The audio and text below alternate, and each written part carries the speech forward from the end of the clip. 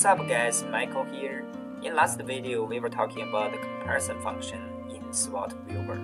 With that function, you can compare the results from different SWAT versions. That version can be a standard SWAT version from the SWAT website, also can be a modified version from your own research. It's a powerful tool to help you test your own modified version. In that video, we didn't cover how you can add your modified version into the viewer. Uh, we will cover that in this video. Basically, there are three steps if you want to uh, use your modified version in the viewer. First step it will be the merge changes. Basically, in this step, you, you, you will need to uh, use the Git merge function to merge your changes and uh, uh, the changes we have been done in the viewer version and merge them together to be a single version. After you have merged the changes, so you can use any of the Fortran compiler uh, like the Intel Fortran uh, Composer and the gfortran to generate the EXE files. After you generate the EXE files, you can just go to the SWAT viewer installation file. There's a SWAT uh, EXES folder. You can just copy your EXE file into that folder. So the viewer will automatically load your EXE file into the program. Uh, we will talk about more about the merge changes. So that's how things work. Uh, basically, you need to know the Git merge command. In this pro pro uh, process, you you need to uh, know the concept concept of branch uh, in the Git. If you don't know that, I will leave a, a description below uh, a talk uh, a link to talk about this function in more detail.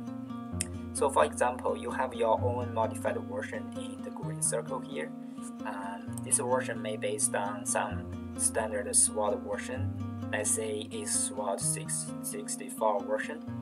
And so you create a branch um, to create your own modified version. At the same time, we have a viewer version, uh, also based on the same uh, standard SWAT version this is another branch, so we call it a viewer version branch. Basically, we have what we have done in this branch is that we change the output format. As you may know, the standard SWAT will output all the results in different output files, in text files. But here in the viewer version, we create we output all the results into a single database.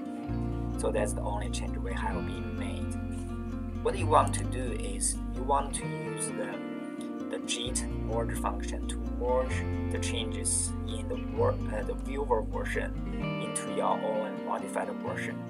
So after you merge this change, you will have the merged version. So in this merged version, you will have both the changes from your own modified version and from the viewer version. So that's the version you will want to use to generate the exe file. In the process, you may find you will have some conflicts. Conflict means uh, you have been uh, made a change to same uh, codes in the both uh, modified version and the viewer versions. So you want to decide which one to keep and which one to remove. So basically you want to uh, tell this Git merge command so uh, what's the correct one to like to leave there. And the second one is you want to give a name of the output uh, database in the viewer version. So basically this uh, name will be very important for the viewer to know uh, when they uh, use different uh, model version to run the program. Uh, you need to tell the viewer, oh, I, if I use this uh, merged version, I will generate this uh, database with this name. Um, my suggestion is you don't want to use um, the same name as other versions. You want to use some unique name your database. The viewer version is not available in GitHub right now.